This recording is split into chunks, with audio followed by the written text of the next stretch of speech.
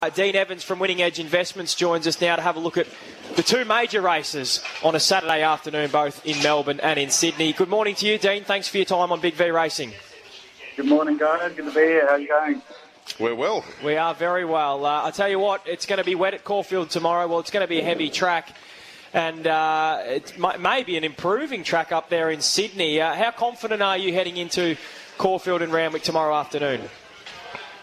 Yeah, look, the, the tracks look like they're, both sort of improving a bit, which I think is important. Um, when it sort of rains on the day and close to, you you can get uh, you know those real real muddy tracks, and, and often it, it, there's a bias towards the horses on the speed. But I think uh, you know as long as you get a bit of drying, both Randwick and Caulfield are good drying tracks, and so you know hopefully we can get something that's you know obviously better than a heavy ten, but um, uh, you know if Caulfield can get to a heavy nine or a heavy eight, and, and Randwick could potentially get to a soft seven, then you know, that's a reasonably fair surface and a surface they're used to racing on. And, and often when there's um, a wet track like that, at least there's a few of the, the dry trackers that you can rule a line through. Dean, how important do you think Barrows are going to be tomorrow at Caulfield? Uh, yeah, well, it's, it's going to be interesting to see how, how the track plays, and we'll know a lot more as the, as the day progresses. Um, the Caulfield Cup historically uh, is a race where, you know, on-pace horses um, do do pretty well. Um, and, you know, with a 2,400 metre slog um, on, a, on a heavy track, um, you know, I think it's going to be quite hard for those horses that are wide out the back. And, and there are some sort of horses that have drawn wide um, and are going to, you know, find it tough from where they are to, to run past, um, you know, every runner in the race. And I think a horse like Benno, as an example, who's drawn 20, is going to drop out the back. Um, you know, it, it's going to make it hard, I think, in a wet track to come from really far back. So I think there are some horses in the Caulfield Cup that will be positioned uh, you know, certainly in that front half of the field, and I think that they will have an advantage. With that in mind, uh, are you with the favourite Smokin' Romans tomorrow? Oh, look, you know, amazing with Smokin' Romans. 365 days ago, he, he ran second to a hurdler in a midweek BM 84, um, and now here he is as a Caulfield Cup favourite. Um, look, he's certainly got the ticks in terms of the trainer jockey, the, the prep and the weight, but he, he's won two races that were sort of walkathons. I think he's going to see more pressure here. Um, and the bog heavy track is uh, it's something I think he hasn't quite seen before either. Um, I'm quite keen on the horse called Numerian. You know, he, he has exceptional form overseas from a couple of years ago. He, he beat the Cox Plate winner Sir Dragonet by nearly three lengths in Ireland on a really heavy track. And he was also beaten ahead by the Cox Plate runner Armory on a really heavy track in Ireland, both times with really big weights. It took him a bit of time to acclimatise here, but last prep he won at, at Group 2 level in Brisbane he beat Maximal, for example, by two and a half lengths, and Maximal then ran second in the Turnbull, beaten 1.4 lengths by the Caulfield Cup favourite a fortnight ago. So, you know, his form line's really tying well. He did two runs this prep. He ran second both times. First up, he ran really strong closing sectionals in the Chelmsford. And second up, they went plus 17 uh, lengths, you know, for the first section in the Hill Stakes. Um, and he ran again second. And, you know, Cascadian, who's going to run the Cox Plate, beat him. But Cascadian sort of set out the back while Numerian did the tough stuff up front um, in a race where they just ran really quick early. I think that's going to season them really well for this 2,400 metres. His heavy track form overseas is exceptional. I think there's a real push. The, the horse has been set for this race, and Tommy Berry sacrificed a number of rides. You know, he could have ridden in the Everest.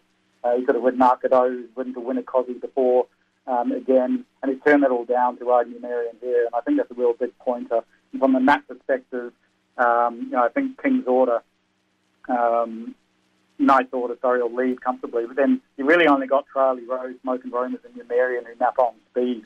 Um, and so I think Numerian's going to get a beautiful run. He could sit sort of in the 1 1. Um, and and I, I think he's raced a really strong chance in this race. Cummings and Josh Parr were both quite confident and speaking effusively about Duais during the week. How do you assess it, Dave?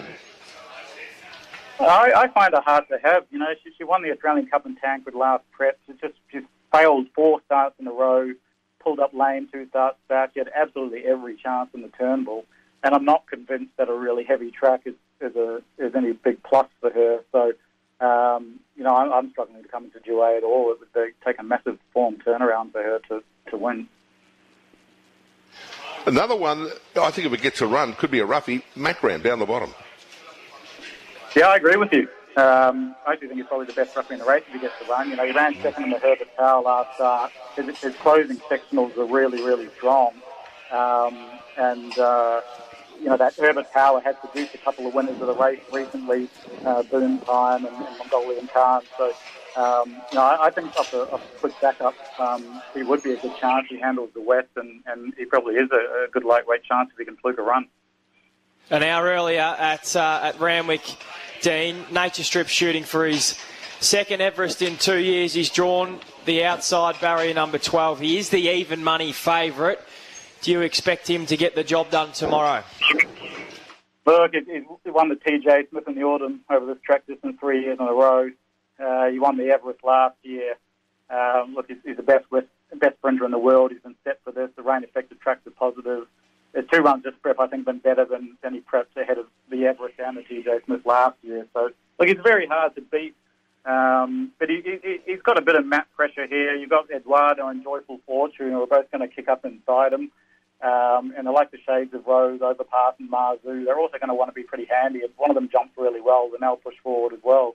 You know, there's potential that Nature Strip being slow away from that outside gate is going to have to do a bit of work, and and and J-Mac's going to have to decide does he actually want to push forward um, on his speed and, and, and go around and try to lead them all, um, or is he actually going to take a sip um, and say fourth like he did you know, impressively in the shorts to win. But, you know, his previous Everest and TJ Smith wins is, is led or set outside the lead and really sort of controlled the speed and bullied them. So it's going to be really interesting. I sort of rate him a 6 to 4 chance. Nature Smith trip. really hard to beat, you know, but he's sort of the horse rugby. He'd be a very big, strong, confident bet at $3, but at $2, um, I'm looking at, at, at potentially being around him. You know, noting he only won the race by, by a neck last year. Lost and Running's a horse I'm really, really interested in. He, he ran fourth in the race last year, beating two lengths when he was very inexperienced. You know, it's important to note that both Classic Legend and Nature Strip were unplaced in their first Everest before winning it the subsequent year.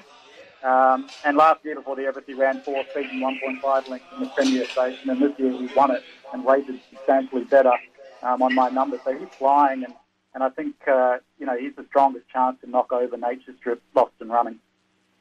Could it set up for something to run home over the top like a Jacquinot or even ingratiating was a good run the other day at Caulfield? Yeah, look, I, I think it does set up for that potential, and uh, I think the two that are most likely are Jacquinot, um, you know, the Golden Rose winner. Yes, yes, came up a close second in the Golden Rose to win this three years ago. Uh, he looks a, a really high quality horse, Jacquinot. It was impressive for him to do that second up off a 28 day break to win the Golden Rose. So I think Jacquinot absolutely is a horse with the weight pull um, that that will be breathing down Nature Strip's neck and, and flying home uh, late.